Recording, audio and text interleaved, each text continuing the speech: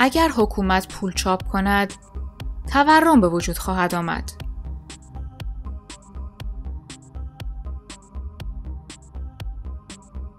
حال اگر در کشوری تورم به وجود آمده باشد می توانیم نتیجه بگیریم حکومت پول چاپ کرده؟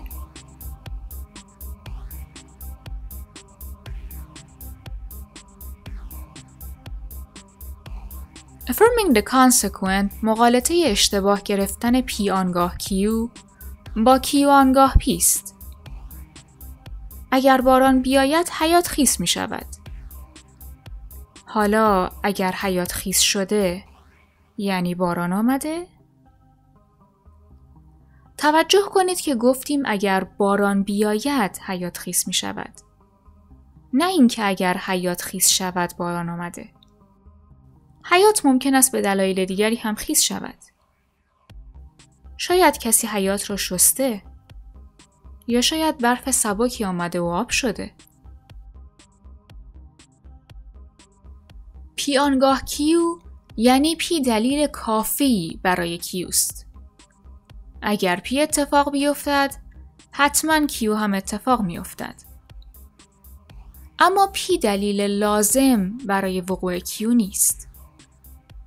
به زبان ساده P تنها دلیل وقوع Q نیست. Q می تواند به دلایل دیگری هم اتفاق بیفتد. از وقوع Q نمی توان وقوع P را نتیجه گرفت. یک سوال باقی می ماند. آیا از وقوع کیو می توان اقلا احتمال وقوع پی را نتیجه گرفت؟ اگر حیات خیسه است، احتمالا باران باریده؟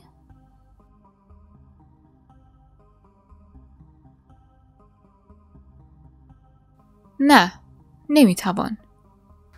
تنها در برخی موارد می‌توان احتمال وقوع پی را نتیجه گرفت. اما در کدام موارد؟ اهمیت این سوال از material conditional و مقالطه the consequent هم بیشتر است. چرا؟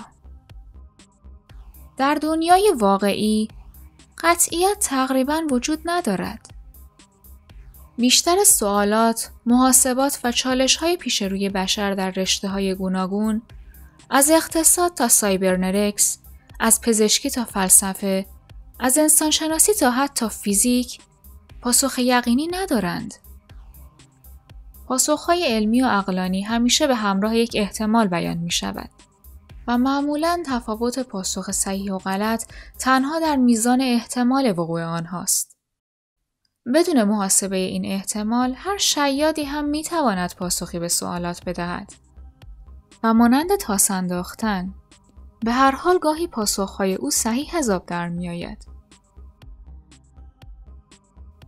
اما سوال اصلی کی می توان از کیو به احتمال پی رسید؟